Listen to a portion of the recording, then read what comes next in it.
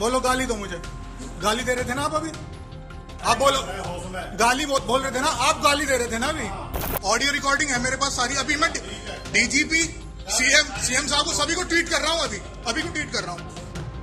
Hathras gate थाने के सिपाही साहब ने आसमान सर पर उठा रखा था। तीन सितारे वाले दरोगा हैं तो क्या हुआ?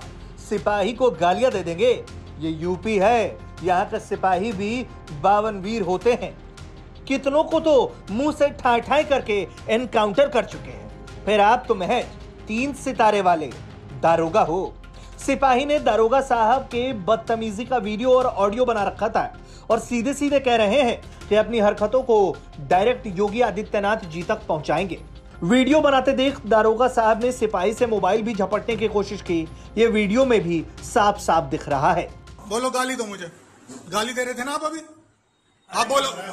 गाली बोल, बोल रहे थे ना? आप गाली दे रहे थे ना अभी? ऑडियो रिकॉर्डिंग है मेरे पास सारी। अभी मैं डीजीपी सीएम सीएम साहब को सभी को ट्वीट कर रहा हूँ अभी। अभी को ट्वीट कर रहा हूँ। अभी ट्वीट करता हूँ मैं। रोज रोज का हो गया। भेजो भेजो। चादर में लपेट।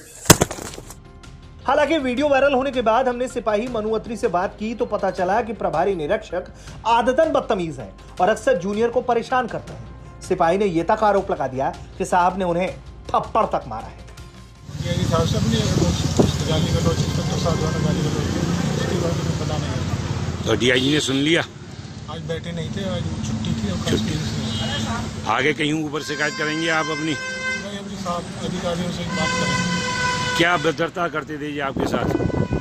गाली गलौज देना बात कभी भी गाली गलौज देते रहते थे पूरे थाने के साथ ऐसा है या किसी खास व्यक्तियों के साथ ऐसा है उनका?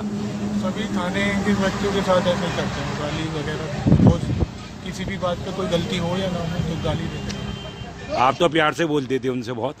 हाँ मैंने उनसे हमेशा प्यार से ही बात की है। फ़ोन पे भी कोई भी आदेश निर्देश है उसका पालन किया लेकिन वो हमेशा कभी भी कोई भी बात मेरी गलती हो या ना हो कभी भी कुछ भी अपशब्द भाषा शैली का प्रयोग सही नहीं था। खैर, अब इस घटना के बाद दारोगा साहब और सिपाही का क्या होता है, ये तो बड़े अधिकारी ही जाने। लेकिन फ़िलहाल तो पुलिस का ये वीडियो जमकर वायरल हो रहा है और यूपी पुलिस की खूब किरकिरी हो रही है।